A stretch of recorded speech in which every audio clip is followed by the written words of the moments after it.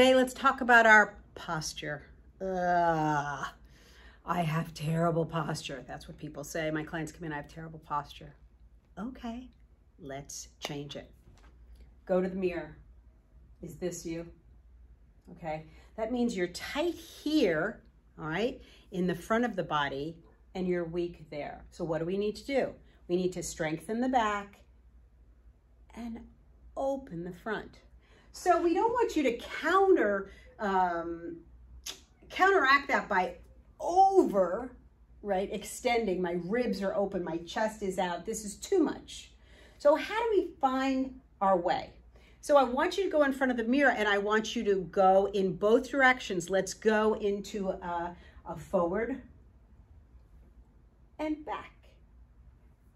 Forward, back. You can do this anywhere. Honestly, it kind of feels good.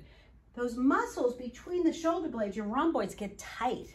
And now, oh, this gets to open. Keep the abdominals engaged. And forward, open, forward. Now let yourself get a little bit bigger in this. Round, open, round, open. Feel the stretch, okay, especially if you're in front of the computer, boy. And now feel the extension, okay? Flexing forward, open, round, open, round, and open. Now I'm gonna make it smaller.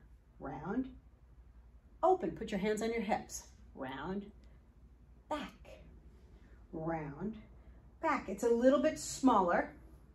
And now it's a little bit smaller. And I want you to just go back and open that chest. Good, you're gonna slant, slide your hands down your legs and go behind onto your thighs and just let the shoulders roll back. So in this, and you're gonna do this in front of a mirror, when you're doing this, you get the feeling of the opening of that shoulder. That shoulder is rotating back in the socket, the, the head of the shoulder is rotating back.